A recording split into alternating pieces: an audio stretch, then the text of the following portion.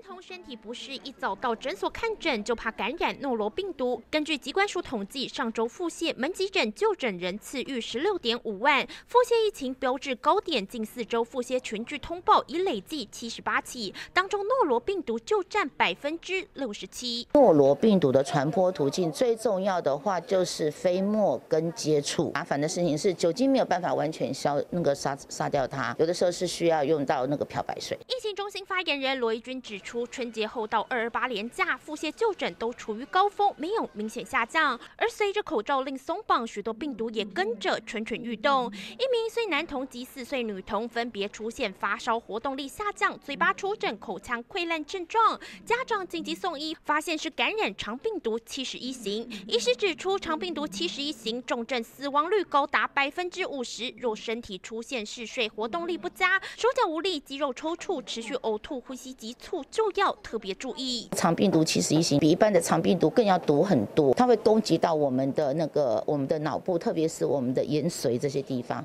所以得到之后几乎是非死即伤。人与人之间的交流哈是越来越频繁的，所以呢，很多的肠胃道还有呼吸道的传染病，这些全部都会回来。医师强调，拿下口罩同时，许久不见的病毒又会开始作祟，呼吁大家仍要保持勤洗手、戴口罩习惯，预防病毒找上门。记者林传、陈教人台北采访报道。今天晚上睡不好觉呢，跟阿比一样呢，浅眠的人呢，是不是一点点声音就让你睡不好呢？现在阿比要推荐你这个用喝的就能舒压的饮品——梦梦水，睡前三十分钟喝一包就可以让你轻松无负担。现在赶快上快点购，还有优惠抢好康哦！